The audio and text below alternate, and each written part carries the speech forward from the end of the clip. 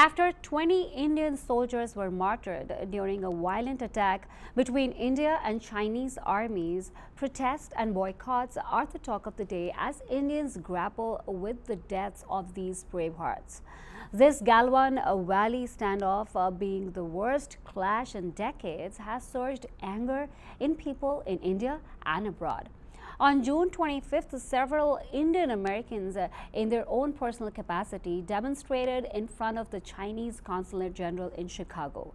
Following the CDC guidelines, large gatherings were avoided. The people carried various placards denouncing China for its aggression against India and other neighboring countries. Vandana Jhingan from TV Asia witnessed this as she happened to be in that area at that time. Let's see the highlights. Several Indian Americans demonstrated in front of the Chinese Consulate General in Chicago.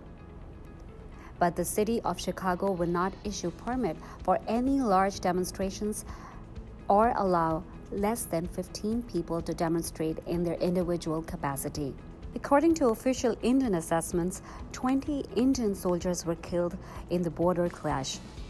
China has not officially indicated how many casualties it suffered but India has assessed China also suffered casualties. Going on, we're right here in front of the Chinese consulate in the downtown Chicago. Well, we have come in our individual capacity to protest against the Chinese atrocities, both on the economic front as well as on the military front.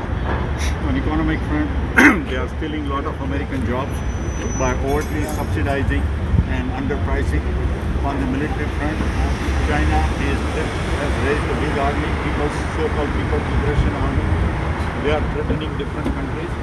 Recently, they are doing incursions on the border with India, and 20 Indian soldiers died. Of course, the Indian soldiers gave them a death also. And now trying to threaten and create war.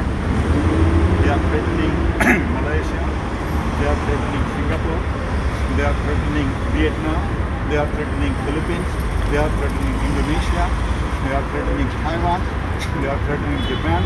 All over they want to say that everything belongs to them and they are trying to crack their military muscle. I mean, this may lead to a war and the Chinese better behave like civilized citizens of the world.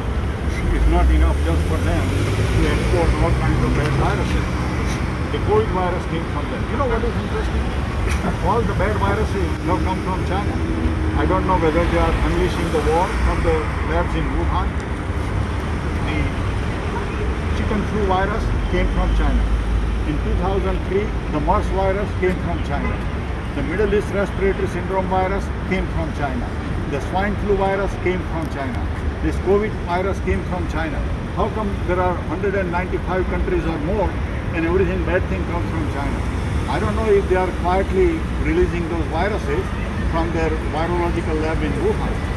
So they are doing so much of damage how many millions of people all over the world have suffered because of this COVID virus, how many people have died, and how much of people have lost their jobs because of the economic So I think the Chinese need to become part of the civilized world, stop threatening people and stop trying to use their own people as slaves and try to export the products to the rest of the world at lower prices.